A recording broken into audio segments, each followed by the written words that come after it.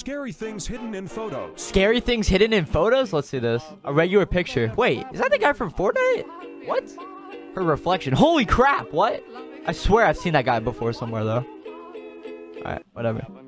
A normal foggy bridge. Okay.